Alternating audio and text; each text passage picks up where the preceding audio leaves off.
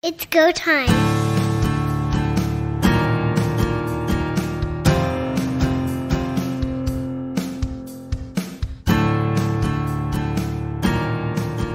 Welcome everyone to Third Down Gamble. The playoffs are underway in the Canadian Football League, and some great stories already out of the semifinals in each conference as the uh, Stampeders and Lions, for the first time ever, met in British Columbia to play a semifinal game. The Alouettes prevail over the Tiger Cats in Montreal, something they hadn't done in quite some time. First things first, overall impressions both had very good attendance. Games were interesting. They were. It was some exciting playoff football. The scores were a little bit more of a point spread than I was anticipating. I thought we were going to see some closer games than they were, but sometimes you get behind a little bit and you have to get out of your comfort zone and try to do too much. And I think that was the case a little bit for uh, for a couple of these teams. Really well contested games. Some surprising strategy came into play, and we saw that kind of come back to haunt the Calgary Stampeders a little bit. The Stampeders who use the name of our podcast as a methodology, the third down gamble, to try to gain advantage. Twice were stymied. Once in the second quarter, end around, I guess you'd want to call it, with Malik Henry. He gets tripped up in the backfield, and the Stampeders turn the ball over on downs. The second one was after the Stampeders had run the clock down and called a timeout with about a second left, trying to draw the BC Lions offside. They then decide to go after the first down. They're at the 18 yard line, and with the goal line close to them, you would think that you would do a straight up play on the first time that you had the ball as opposed to the second. But the second time, some miscommunication between quarterback Jake Maier. Was it Malik Henry? Was it Reggie Begelton? Hard to tell who the intended target was, but the ball floats, bounces off the ground, and the Lions get the football. Ironically, they move the ball down the field. It's a third down gamble for them, upon which they get a scoring play. The attempt to draw the other team offside on those third and shorts, statistically, I don't think it generally works very often. I have seen occasions where it does, but in a situation like that where you've got some momentum, you're driving the ball down the field, I think it's in your best interest to get a play off quickly and not give that defense time to get set up by by stopping the clock, taking the time out with one second left. It's clear BC's defense isn't going to bite. And now you've got to run a play. And, and I believe it was a little bit of overthought, maybe on Dave Dickenson's part, to try to strategize and try to draw BC offside. It rarely works unless you've got an over anxious defense and they're maybe not expecting you to not snap the ball. But BC seemed to be ready. It was a situation where the Stampeders were third and two, not third and one, so the, the element of peril for the defense wasn't as strong. The bigger part of the equation was BC sent basically a blitz after Maier. He's backpedaling. Begelton looks like he's going to make a move to the out, stops, takes two steps, stops. Malik Henry has basically parked it because the two are sitting one on top of the other, and Maier throws it to a spot where he hopes that one of the two will actually go to get it, and neither one does. It's just miscommunication, but it hurt the Stampeders. At that time, the Stampeders are within reach of the Lions. If they kick the field goal, they're only down by four. Exactly. One thing that comes into play in playoff games is you see a little bit more trickery and a little bit more chance taking, and that was what Calgary was doing. We saw in a game earlier with playoff implications on the line where the Montreal Alouettes and Danny Maciocia were going for it on third downs to try to get that win in order to host a, the Eastern final.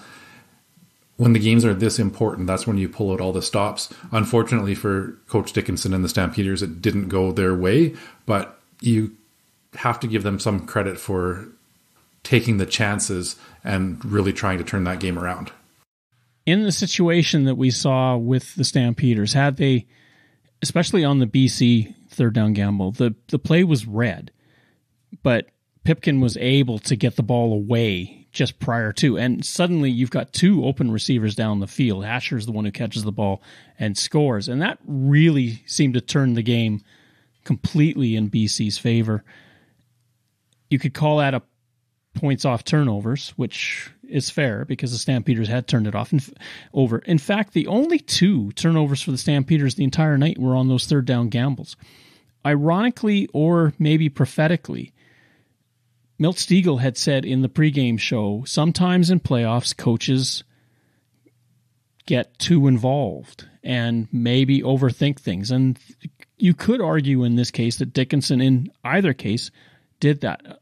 If we go back to the 2016 Grey Cup, Andrew Buckley comes in. They normally do a dive play or do a handoff with Jerome Messam for a short third and for the Stampeders in that year but they decide to kick Buckley to the side. He gets tackled. I believe it might have been Abdul Kanneh that might have done it. I'm not sure for the Red Blacks. Anyway, he is tackled, and the Stampeders turn the ball over. It was something that they uncharacteristically had tried. The same thing happened in this football game. Malik Henry, they all season Tommy Stevens had gone straight over the middle. Now all of a sudden you you try and trickery by kicking a receiver coming around the formation off to the edge and trying to get him to get the angle to get upfield. Well, that never happened. And the Stampeders lost the ball on downs when Henry was tackled in the backfield. You take field position into account in these situations as well. They were well into BC Lions territory. So the high risk call was a bit unnecessary. One thing that Tommy Stevens brings to the table when he walks onto that field is size and length. He's a, a very tall quarterback. So to ask him to essentially fall forward for the yard is not asking a lot. And by taking the ball out of his hands for an end around play puts you at risk if you've got a, a linebacker or a defensive back that is is playing that spy position and not letting anybody get to the outside, which BC played well. They protected that outside, and, and the end result was a loss and an unsuccessful third down gamble. If Javien Elliott gets to Pipkin, the Lions will be in the same boat. But Pipkin backpedals quickly enough that he gets the ball away. And with some accuracy, unlike Maier, who really had, with the anticipation, had missed what was going on with the receivers. Again, it takes two to tango. We often say football is a game of inches or millimeters, and there are two cases where if Elliott gets to Pipkin, Antonio Pipkin doesn't get that ball away, how does that turn the game around? And and that he missed him by what half a second, maybe. It was very quick. It was a a very tenacious defensive line by the Calgary Stampeders getting after it. The biggest difference in those two throws was the amount of air under the ball as well. Maier tried to throw it to a spot. In Pipkin's situation, the receivers were so far beyond any defensive player that he just needed to get air under the ball it was a very accurate throw. I will give him credit for that, but I don't even think it really needed to be. If he got the ball up in the air, one of those receivers could get it at least for the first down. In this situation, it was a beautifully thrown ball and a very easy trot into the end zone. With BC getting that, they broke the game open, as I indicated earlier, and the Stampeders were scrambling. Now, let's get to part two of that equation.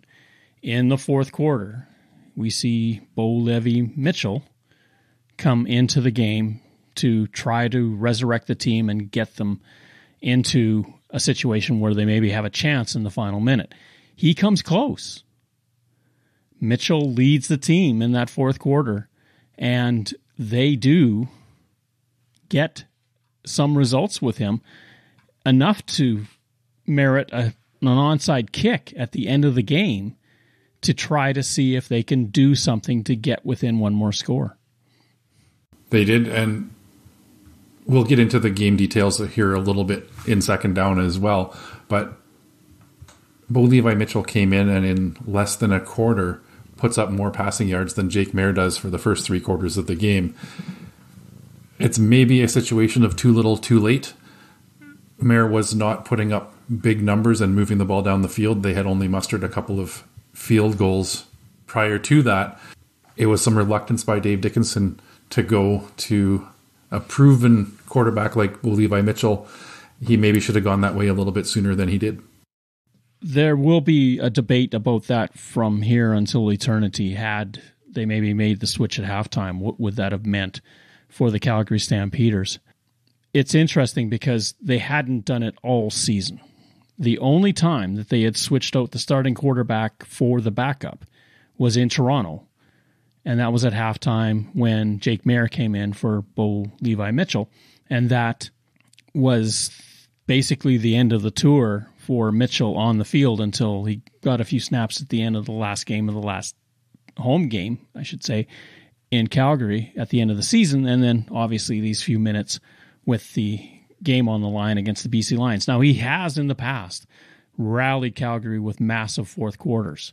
He's done it against Edmonton in the playoffs. He's just that type of guy that doesn't back down from any situation. It does now beg of the question if we look at the two players and try to make a determination as to where Calgary needs to go from here, it looks as, for all intents and purposes, that Jake Maier is going to be the quarterback that will start as their quarterback in Calgary.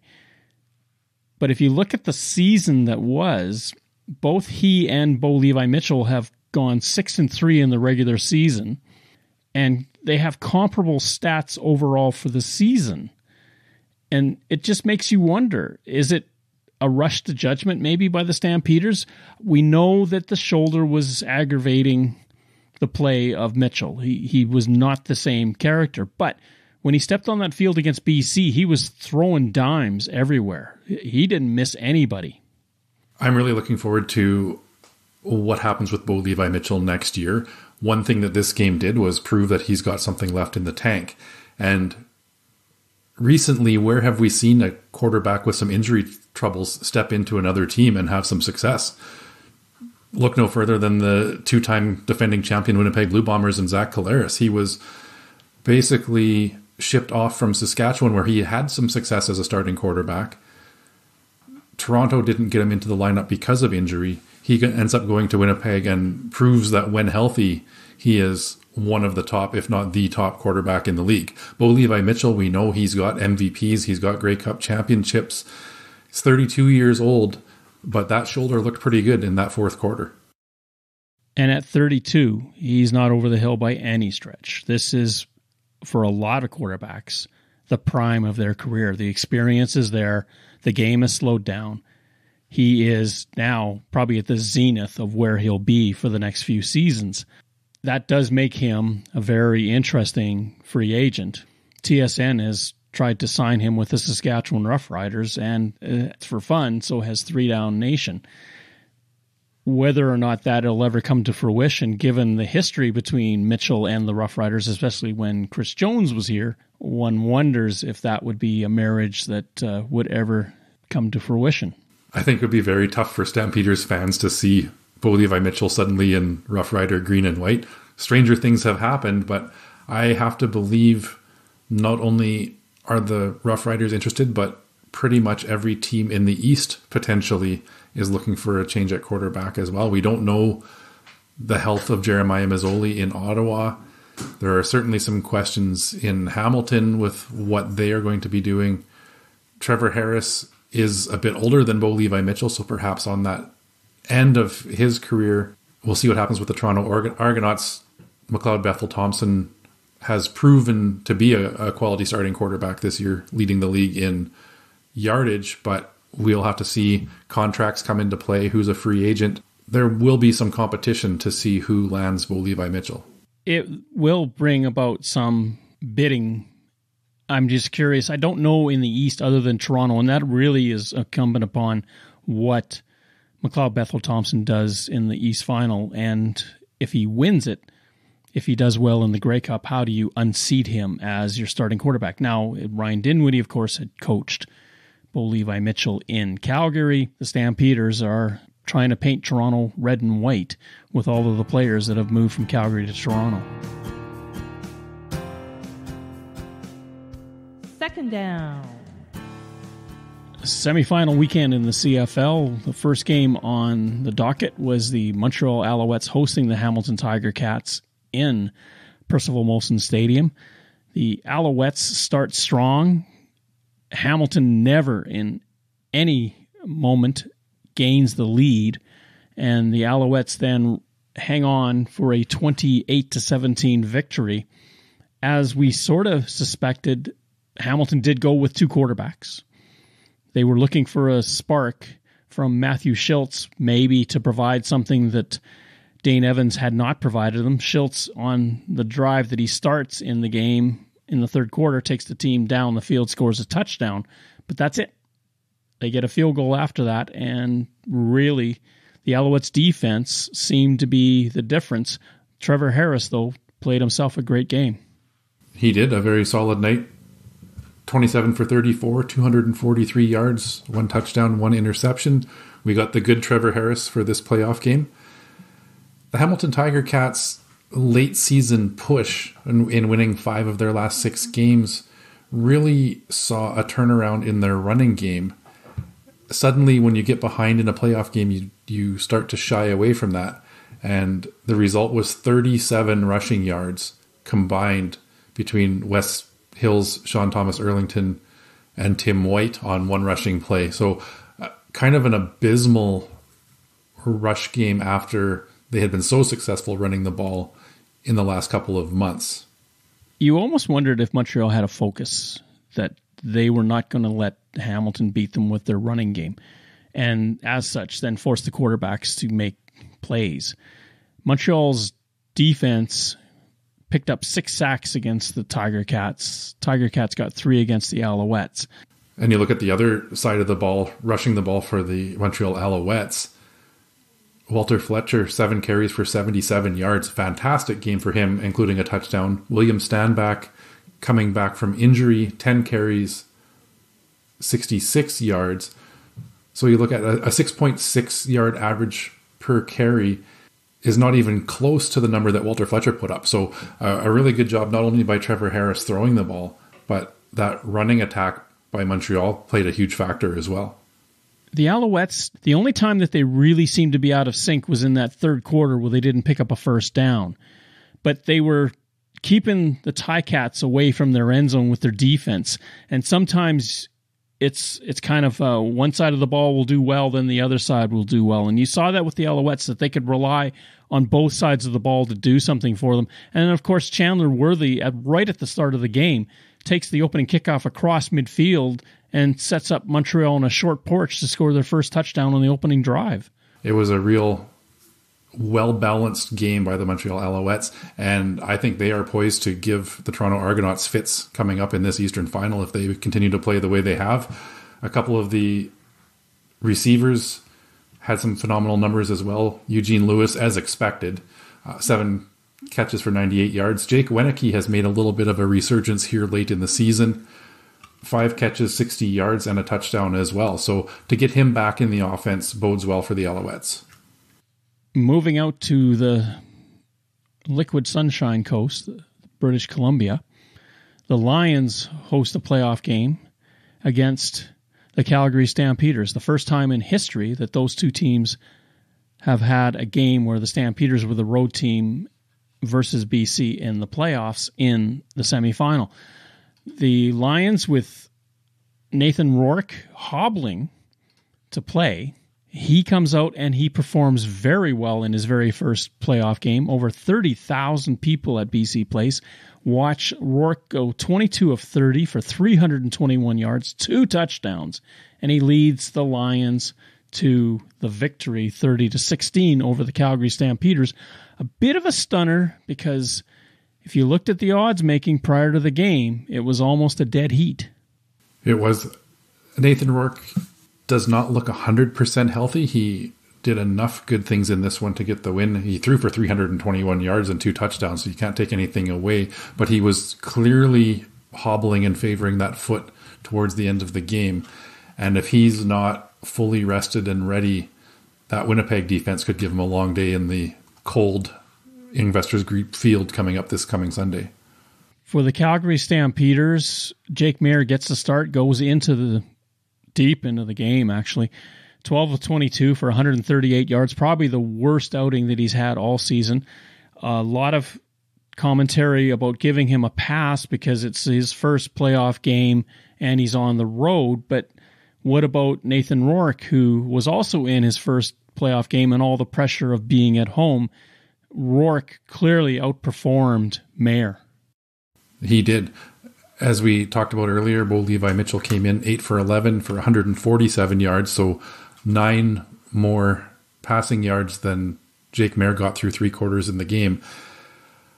That last drive by Bo Levi Mitchell, however, was a little bit of a anomaly in the yards. I believe BC was playing in prevent mode and just trying not to get beat deep. So Mitchell did string together several completions but he was also just kind of taking what the defense was giving him. 147 yards is a, a, great fourth quarter, but the the game situation led to a bit of an increase in those passing yards.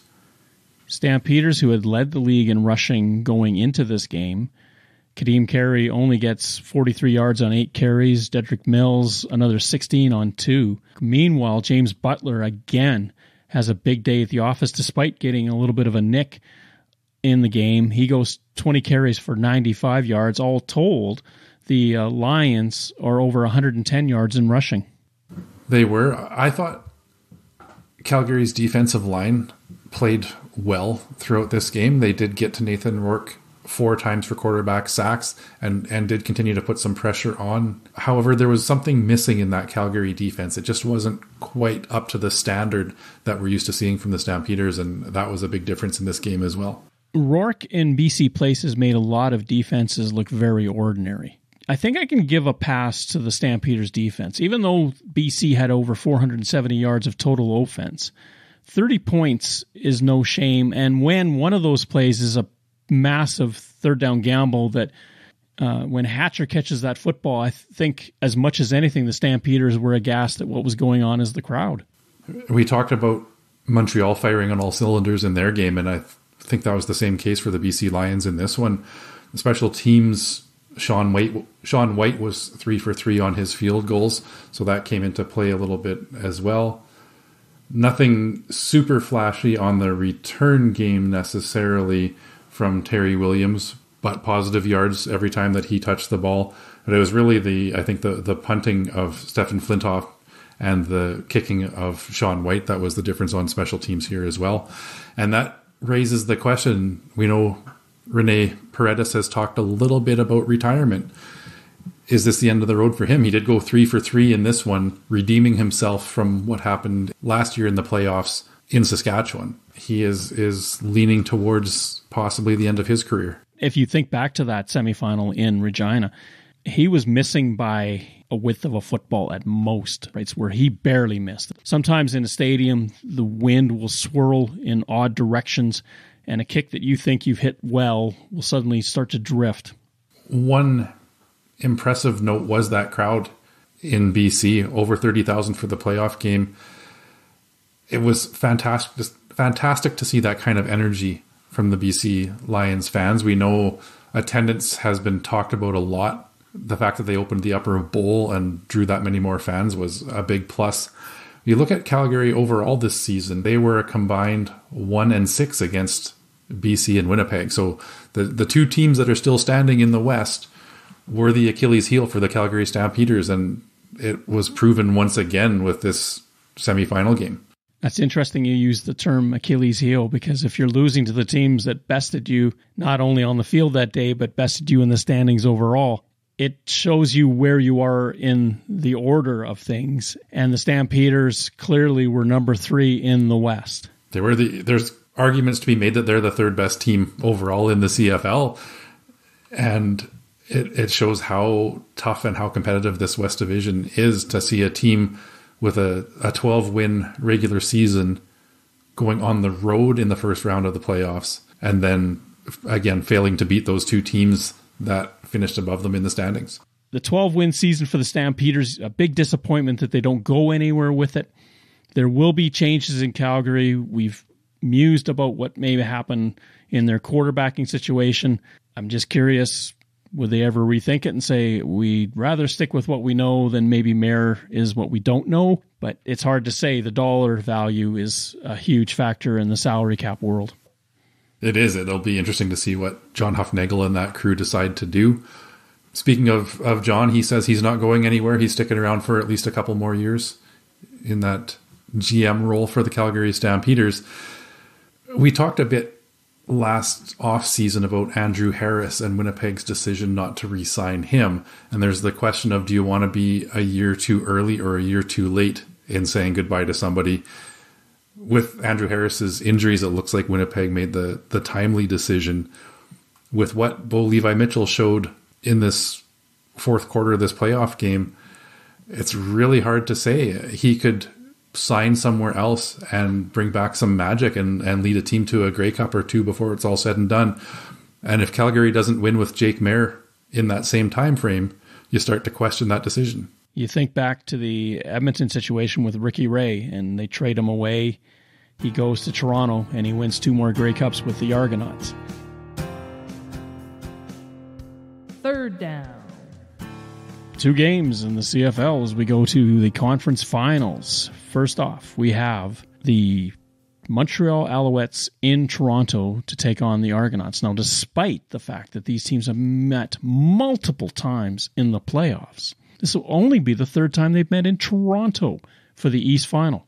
You'd think with only nine teams in the league, these combinations would be a lot more prominent. There's there's some really interesting stats as we discussed earlier the first time that Calgary played in BC in a semifinal game as well. So fa- some fascinating stuff. The last time Winnipeg and BC played in a Western final, 1985. So some big gaps in there. I know Winnipeg did move back and forth between East and West during some of those stretches as well. But with the long history of the CFL, very curious that some of these matchups have occurred so infrequently the Argonauts are three and a half point favorites at this point in time over the Alouettes. The last two times that they have, in the only two times that they played in Toronto for an East final, the Argonauts won. Of course, Doug Flutie was at the helm of the Argonauts in that era, 96 and 97. Far different situation this time. The Argonauts, lots of pressure on their starting quarterback, McLeod Bethel Thompson. He did get the extra rest, didn't play in the team's final regular season game, so he's basically been off for three weeks. The defense for Toronto, Wynton McManis, looks like he's going to be back to play. We don't give enough credit to that Toronto Argonaut defense. They have been stellar this year. The numbers may not provide for it in terms of total this or total that, but when it comes to stops and turnovers, they have done it in multitudes. And that's the kind of factor that you want going into a playoff game. When I first looked at this matchup, I was starting to lean towards the Montreal Alouettes based on the way they played that game against the Hamilton Tiger Cats. But I'm with you. I started to think more about that Toronto Argonauts defense. Ja'Gared Davis and Shawn Oakman on that defensive line have been a great duo. And you've got Jamal Peters in that secondary a bit of a ball hawk as well. And I'm trending towards Toronto and that defense being the difference maker. McLeod Bethel Thompson having not played in about three weeks is a bit of a concern, though. He is a notorious slow starter, and this much of a layoff, it might be an even longer lag for him to get going at the start of this game. Trevor Harris is always the enigma that I'm curious about. He is the type of guy that if he gets hot, he gets blistering hot, and if he's cold, he's ice cold. There seems to be no in between with him when it comes to playoff games. And I mentioned in the last podcast that if we see the Trevor Harris that lit up the Tiger Cats for five touchdowns in a playoff game, then nobody is going to be able to stop that team. He showed flashes of it against Hamilton this last weekend. He he was definitely accurate, but he wasn't getting chunk yards. He wasn't going down the field very much. Against the Argonauts, you're going to have to do that. I don't think you can move the ball on a 14 play drive and score a touchdown against Toronto. That just isn't going to happen. They're not going to let you do it. You've got to be able to get big yards. That's where Eugene Lewis is going to have to be big. Jake is going to have to be big. They're they're going to have to go to their guys that make big plays and they're going to have to get big gains, 30 plus, 40 plus yards. So even with that running attack that Montreal showed, you don't think it's going to be as much of a factor? No, not against Toronto. In fact, I would argue now, let's say that Andrew Harris is completely healed. He's back practicing with the team. He is definitely going to be an element in this football game. He does ratio change. It's just does AJ Ouellette get moved aside? I doubt it. I think you come with both. And granted, they're sort of the same style, except the one thing that Harris has always provided, he's a great blitz read protector. And the other thing that he does provide is coming out of the backfield on swing passes. He's fantastic at those, as we've seen in his years in BC and Winnipeg. If he's up to speed, and from what the discussion has been that I've been privy to, he has been a demon in his rehabilitation. He has just gone hard and heavy to try to bring himself back as fast as he could. Remember, this is a pectoral muscle, not his legs. So he will be a strong runner. The question in my mind is how much do the Argonauts want to trust him in this situation? If they feel confident that he can do some damage, watch out. Andrew Harris could have a big, big game. He could. I'm really excited to watch these Toronto running backs. AJ Ouellette is a straightforward, bruising running back. He hits the hole hard. He's not afraid of contact when he gets into that backfield. Andrew Harris is also a power runner, but has a little bit more finesse than AJ Ouellette at this point in, in Ouellette's career.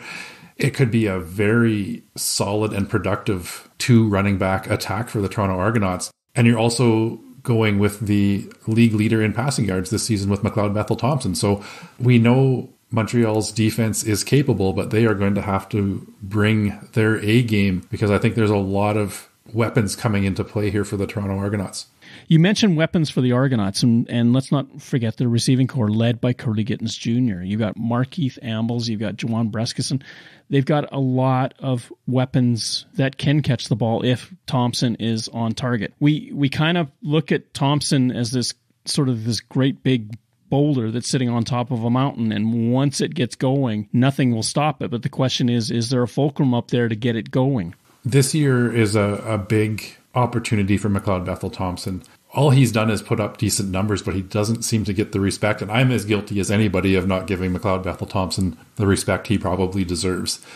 If he gets it done in this final and, and pushes the Argonauts through to the Grey Cup, it's going to be a big feather in his cap. And, and certainly if he goes on and wins the Grey Cup, if Montreal comes in on the road and pulls the upset, do you start to question his capability to be the the number one guy in in the uh, Argonauts organization? That is something that if he does lose this game, and let's say he looks poor doing it, that is something that the Argonauts are going to have to come to terms with. And if Bo Levi Mitchell is available and there's that connection with the head coach, who knows what could be coming in 2023 for Toronto. In the West, it's the BC Lions in Winnipeg to take on the Blue Bombers. The Blue Bombers five point favorites going into this game. It'll be much chillier in Winnipeg than it was in the Dome in BC. The last time that these two teams met was 1985, as you indicated.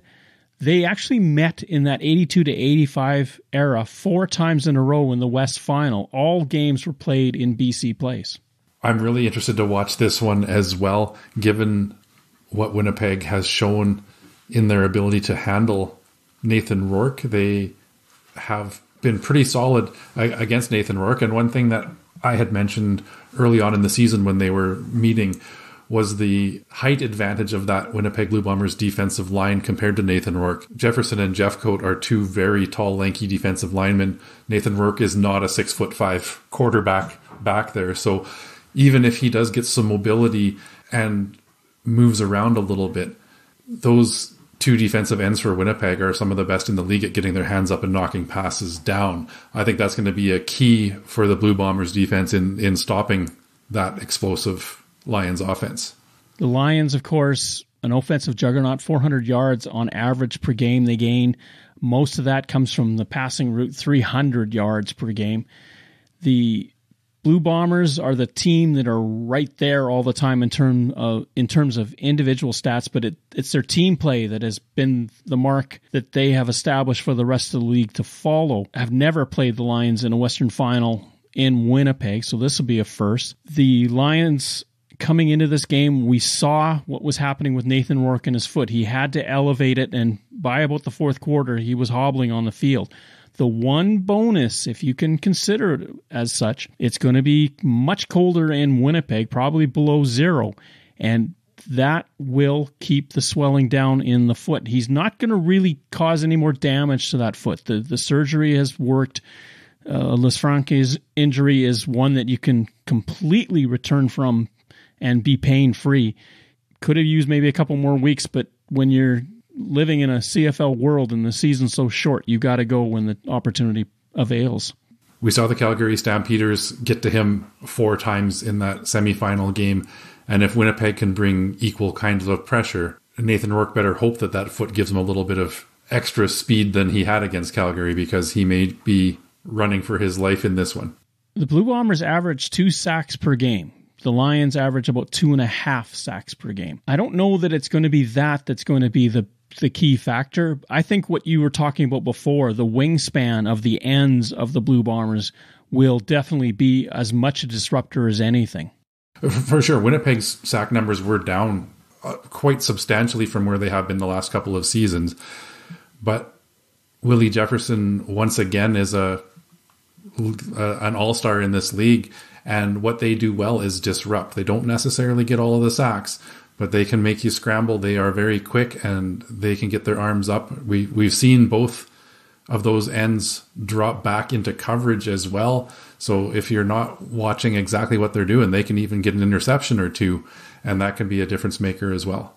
The last meaningful game, I guess, in terms of play for Zach Collaros was October the 8th against the Edmonton Elks. He has played since, but very little.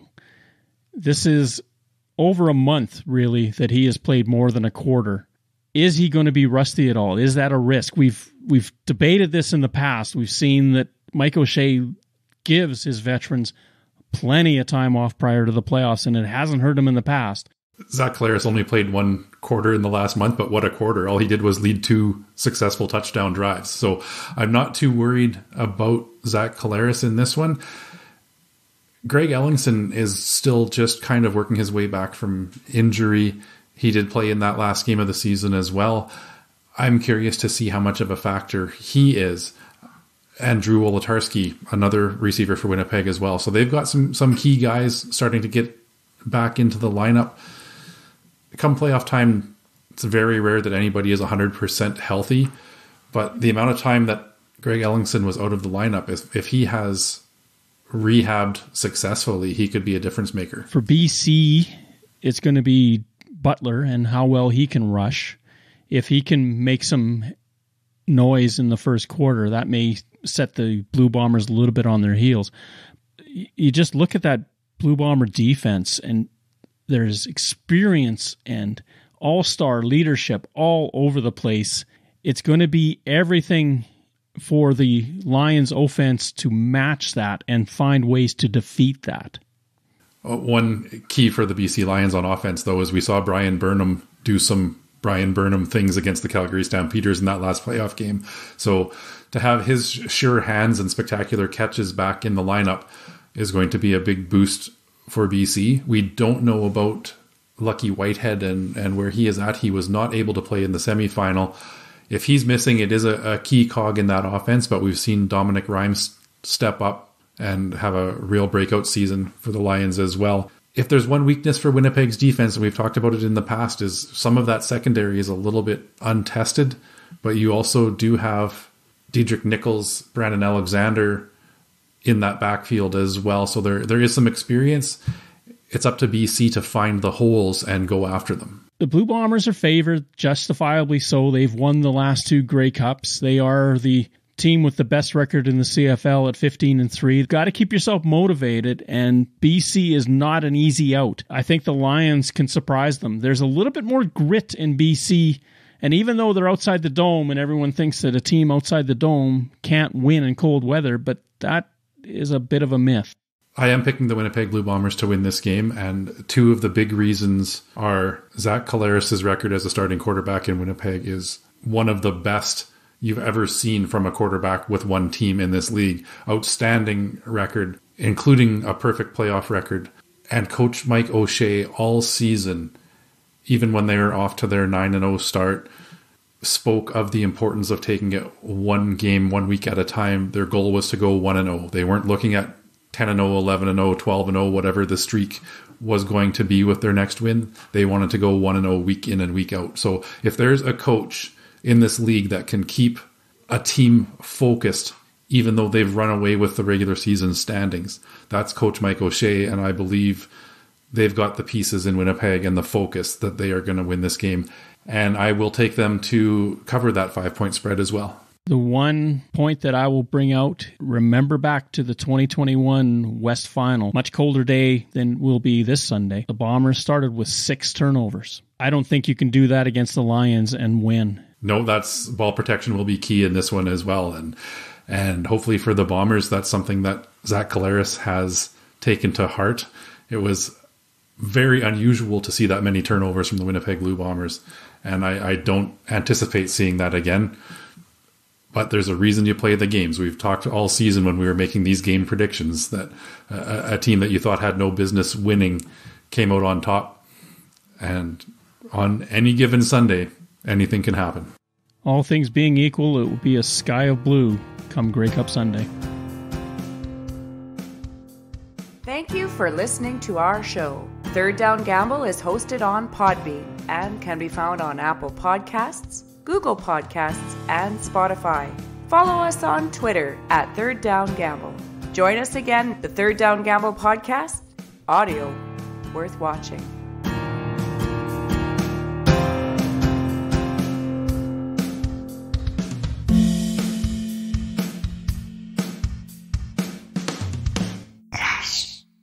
Third Down Gamble uses the expert resources provided by Canadian Football League player and game statistics for analytics, game notes, and statistics, and 3downnation.com for news, insight, and in-depth analysis.